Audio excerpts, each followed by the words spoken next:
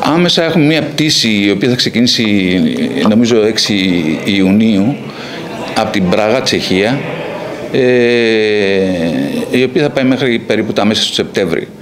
Ε, είναι μια αρχή, ξαναμπαίνουμε στο χάρτη δηλαδή.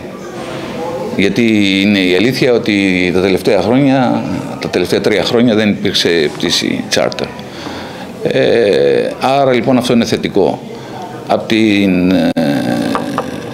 ε, από το ταξίδι στο Βερολίνο που ήμουνα στην μεγαλύτερη εκθέση που γίνεται στον κόσμο για τον τουρισμό, υπάρχει τεράστιο ενδιαφέρον υπό την προϋπόθεση ότι θα είναι έτοιμη η επέκταση του αεροδρομίου αρχές σεζόν του 24.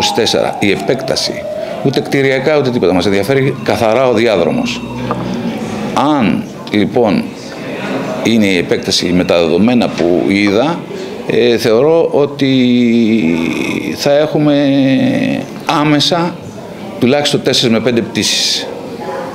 Από τη Γερμανία, από ποιες χώρες είδατε έτσι. Υπάρχει ενδιαφέρον και από τις σκανδιναβικές χώρες, υπάρχει ενδιαφέρον από την Ολλανδία που είναι οι παραδοσιακοί μας πελάτες, υπάρχει ενδιαφέρον από την Αυστρία και το Βέλγιο.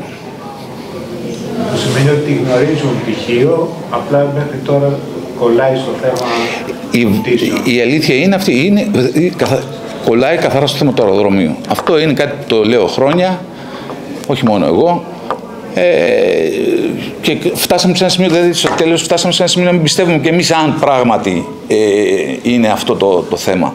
Όμως αυτό απέδειξε η, το ενδιαφέρον τους. Δηλαδή ε, σε όλες τις συζητήσεις που γίνανε εκεί υπάρχει άμεσο ενδιαφέρον.